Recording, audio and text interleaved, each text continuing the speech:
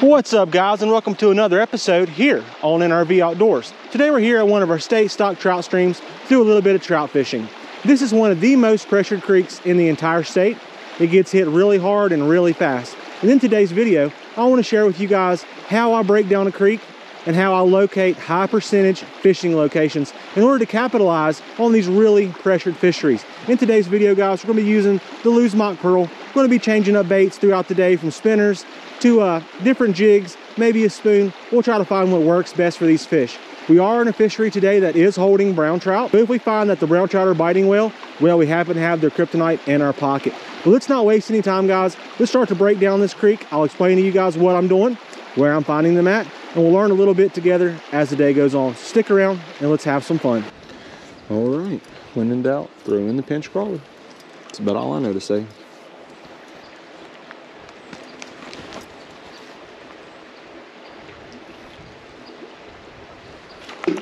There he is. There he is. Nice one. Brown trout. On the old yellow pinched crawler.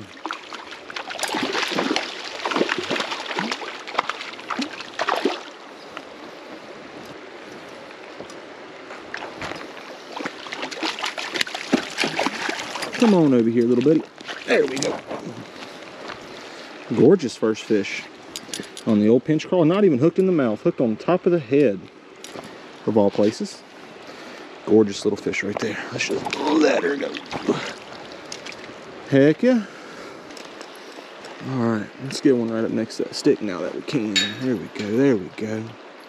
That's probably gonna be a fish right there.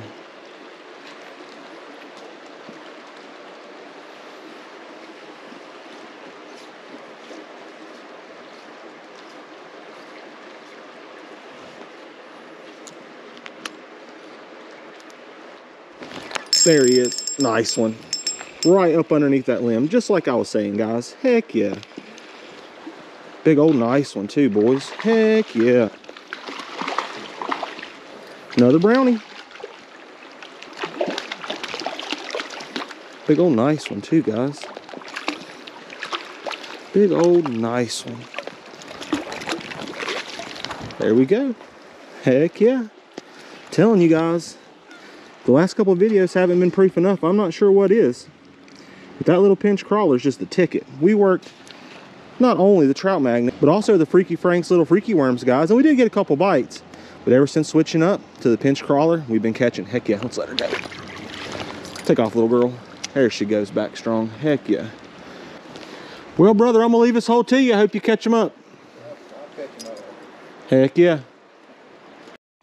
Alrighty, guys now we have got ourselves a big long stretch of shallow water.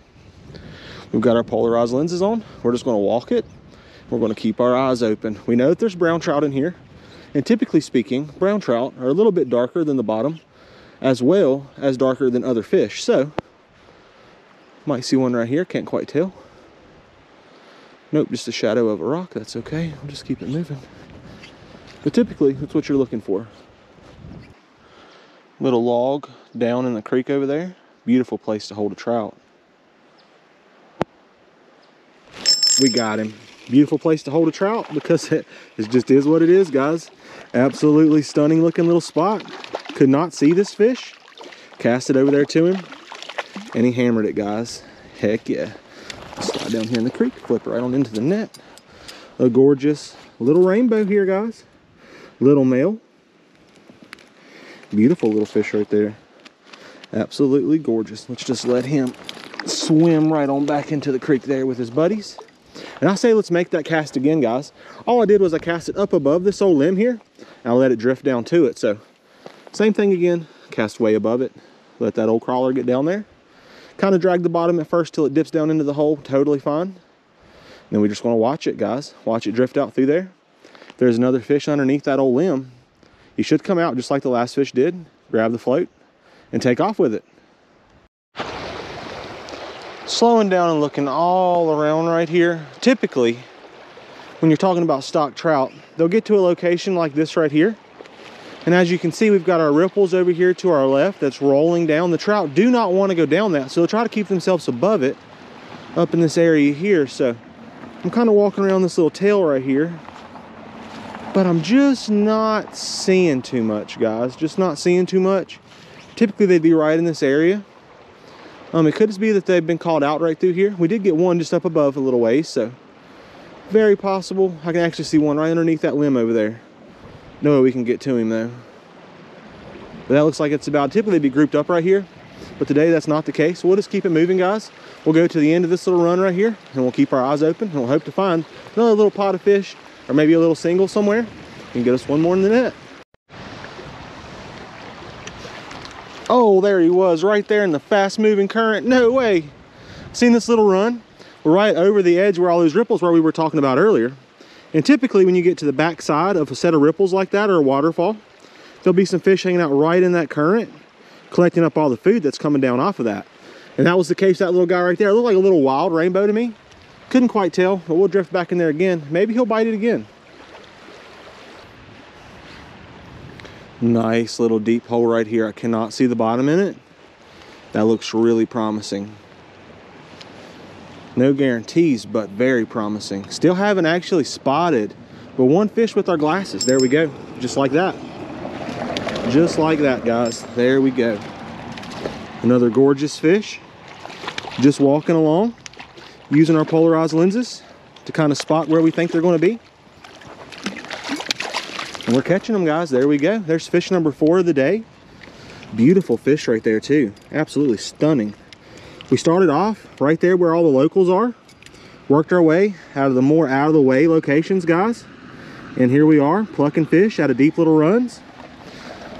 No problem. There we go, guys. Another gorgeous fish. Let's just let her go. Back strong and healthy. Lost our pinch crawler. That's totally a shame, but that's all right. We'll get right back in here. We'll try again. Here's a beautiful eddy. No fishing behind it, guys, but this is a classic trout spot. Big stone in the middle of the creek, a big eddy, a big slack amount of water behind it.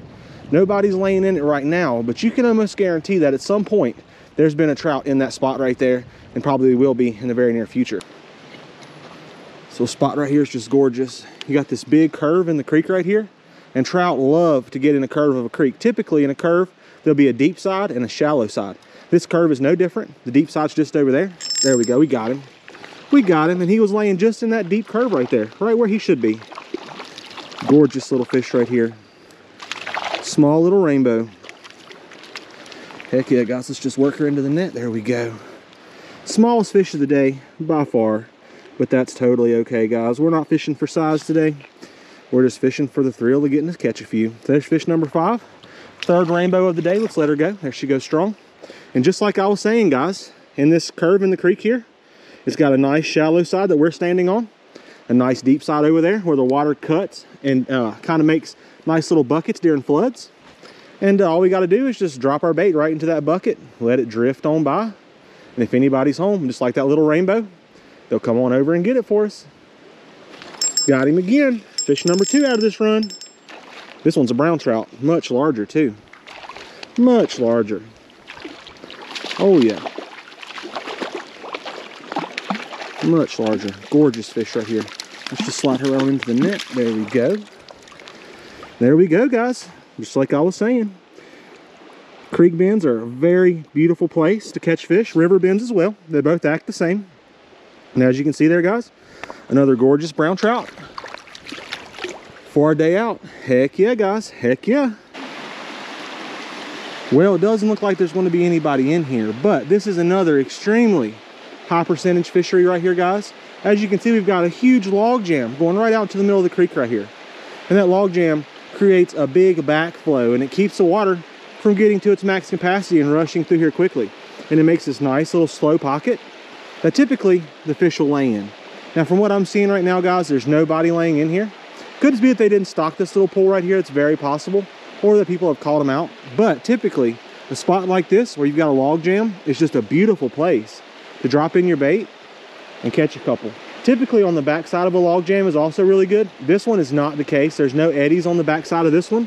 It actually flows really fast and gets really shallow. So there's no need to cast over there, but this is another beautiful place. And anytime you see a big log jam like this, it's always worth stopping and taking a few minutes and fishing the whole well. Alrighty guys, made it to our next spot. And as you can see, this is an old bridge hole. Anytime you're fishing a state stocked fishery and you can find a bridge spot, guaranteed going to be fish there. And I say that because the trout men look for an easy place to put their fish in. And uh, there's nothing easier than just pulling up to a bridge and letting them fly. So anytime you get around a bridge, guys, definitely stop, slow down, fish it. Probably going to catch a few.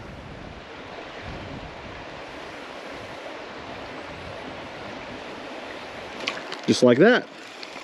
Just like that, guys. And there we go. Another high percentage location and a fish hooked. Angry little guy too. Gosh, he's fighting hard.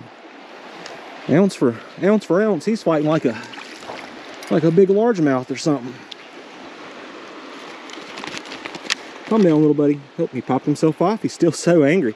But there we go, guys. Another gorgeous rainbow up under this high percentage location bridge. Let's just let her go. There we go, guys. Heck yeah. She didn't manage to lose our pinch crawler, so we'll have to go in for another and get it all rigged up. But if I had to guess, that little fish right there probably has a whole net full swimming with him in there. That's typically the case when you get around these old bridge holes. So although the bridge holes are typically really crowded and you wouldn't consider it necessarily a sneaky spot, it is definitely and by far one of the most high percentage locations statewide and countrywide, just because that's where they like to stock the fish out the best. Oh, we had a bite right there. Didn't have time to turn the camera back on and we had the bobber down, guys. Daggone. Let's try that again. Same spot. Just like that, big and not super big, but the biggest one all day for sure. Heck yeah, guys. Big brownie. Looks like we've been going one for one most of the day so far. Heck yeah, nice big brown trout. Come right out from under that little log over there. Heck yeah, guys. Two high percentage locations in one little spot equals success, guys. It equals success. There we go. That's a butterball right there. He's just a pure little fat belly. Calm down. Open up your mouth. Mouth full of teeth in this fish. Let's get that out of there quickly. There we go. Heck yeah, guys. Lost another pinch crawler. It's already got out, got away from us now, but we're just trading pinch crawlers for trout. And that's what they're made for. Heck yeah, let's let her go. So there you go, guys. Another high percentage location. You got a bridge, an easy stocking location for the stock people. You got this beautiful down tree right here, making some nice cover. All you've got to do is just drop your bait in there, guys, and hold on. I'm telling you guys, high percentage locations, fishing 10% of the water, really is my secret to success. And if you want to catch fish as well as I do, or as well as the others you're seeing in your area, all you've got to do is start thinking in that same manner, guys, and that's it. Now right here's another very helpful hint, guys. If you look right here, there's tire tracks. We're in a field that typically doesn't get any traffic. It's a cattle pasture. So if there are tire tracks, they're probably going to be tractor tracks. But when you see pickup truck tires like that, that indicates that the location you're fishing has in fact been stocked because those stock trucks typically run on standard street tires and they're very easy to pick out in a field like this one. Alrighty guys, got ourselves a nice little bush in this creek bend right here. Ideal fish habitat. Let's see if anybody's at home. Let it drift right on past it. Keep going right on down this bend. This creek just curves beautifully. Got that nice deep spot we was talking about earlier. Up against the bank over there just what you're looking for for stock trout ideal location let's give it one more drift before we move on this little spot right here does look super juicy super juicy that's for sure very short little cut right here but it probably would make them feel really protected so let's just see oh yeah i seen one swimming around in there it's like a big one too guys it looked like a big one couldn't quite tell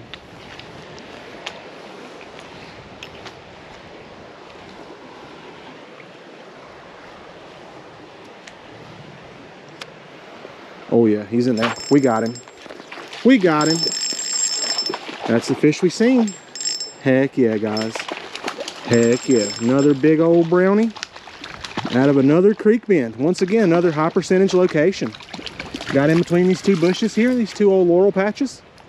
And wouldn't you know it, she was laying in there waiting for us, guys. Kicked off our pinch crawler, but we was able to save that one. That's always good. Stuck her hand in her mouth, mouth full of teeth. Wasn't quite as big as I thought when she was down in there, but she's no tiny one. We'll take her. Heck yeah.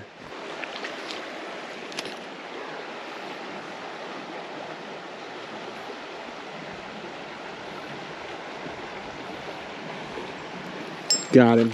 There we go. Not a big one, but we got ourselves another one, guys. Looks like a little rainbow came out of there. Heck yeah, guys. Heck yeah. So still going pretty much one for one between browns and rainbows. And we've caught all of them on that yellow pinch crawler. It's just been a hot bait here lately.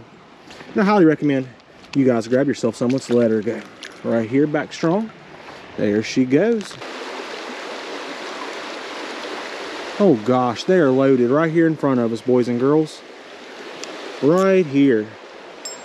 Another very high percentage location is anywhere and everywhere a tree is growing out of the creek.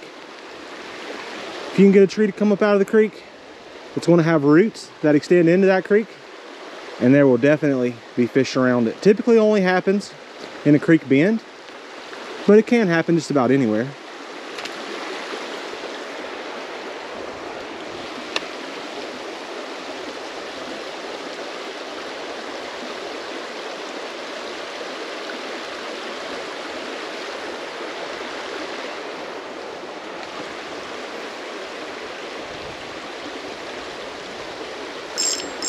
Got him. We got him. Oh gosh, we might. Yeah, we still got him, but we've got a mess too, guys. Daggone do we ever. Fixing to lose this one too. Oh, maybe not. Got all of our problems fixed there.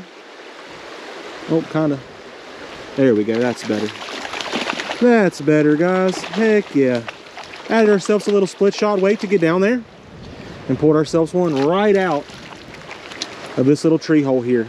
And once again, guys, any trees that are growing into the creek or river or pond or lake most likely have roots that extend into the same into the same body of water there, guys. And odds are, if you can get your bait up there next to that old tree, you're going to catch the fish, guys. Now that one came on the natural color, but I had to get it down there a little bit deeper in order to catch that fish. So I'm thinking we'll switch back up to the yellow. It has been the color of the day.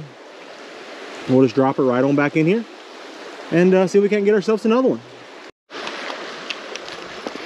Got him on. Got him on, guys. Right here in front of us. Didn't even have time to get the old camera running. This little beauty was all over us. Yes, she was. Another gorgeous brownie. Come here, girl. There we go. Heck yeah. Another gorgeous brown trout. Hooked right in the bottom jaw right there. There we go, just barely skin hooked. Just like you like right there, guys. Beautiful little brownie. Let's just let her go. Let her go on back strong. I don't know how many fish we've caught today, guys, but it's been extremely successful. And we've just been hitting our high percentage locations, guys. Hitting spots where we're pretty positive the stockman did in fact stock. And places that the fish can get in and get very, very comfortable and easy to catch.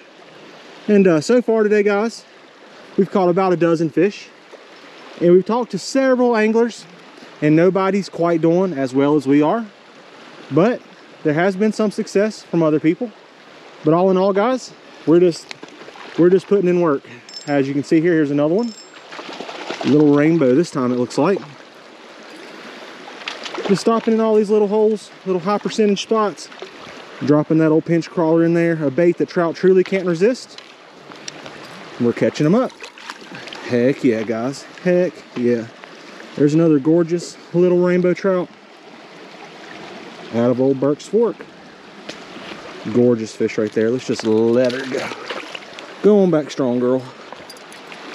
Alrighty, guys. So much fun. I can hardly contain myself. Heck yeah. We got them firing on that pinch crawler on all cylinders. Pretty awesome, guys. Pretty awesome.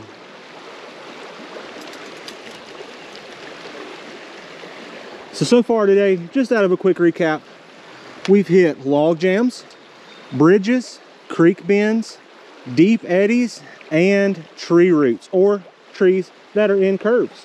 And every spot we've stopped at today, guys, every high percentage location has yielded us a fish.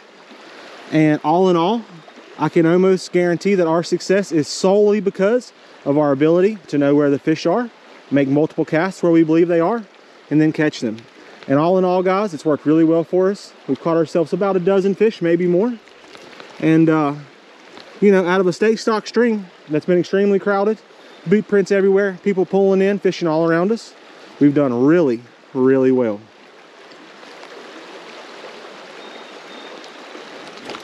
Got him. That's a better one. That's a better one right there. That feels like a little bit bigger of a fish right there, guys. Certainly is.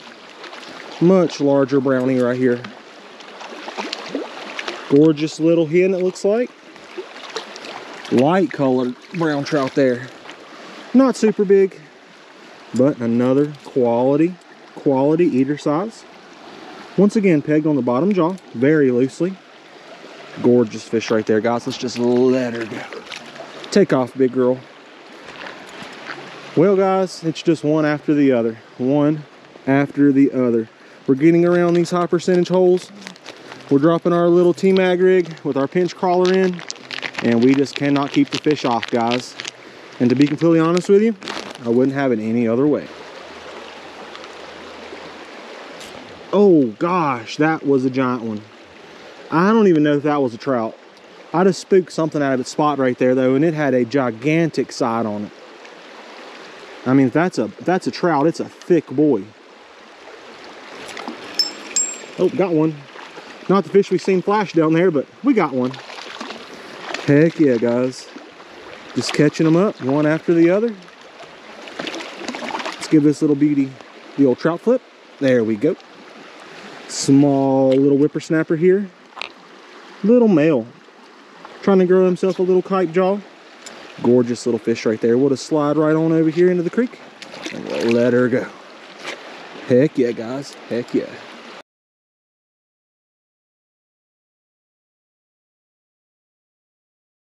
Alrighty, boys and girls. Very last cast of the day going in.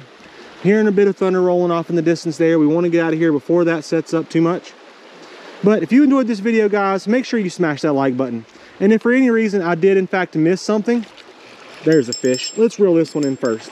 But if I did miss something, guys, that's important, please let me know down there in the comments when it comes to high percentage fishing locations. We've hit our high percentage locations, guys. We've been putting in work, catching trout after trout in all of these little high percentage holes. And like I was saying, guys, if you know of any other tricks or tips for high percentage locations and how to find them, be sure to share down there in the comment section below. But that's pretty much going to do it, guys. I'm all fished out. I got to try to beat this rain. But get out if you can, guys, and do some fishing and have some fun. But most importantly, be safe and tight lines.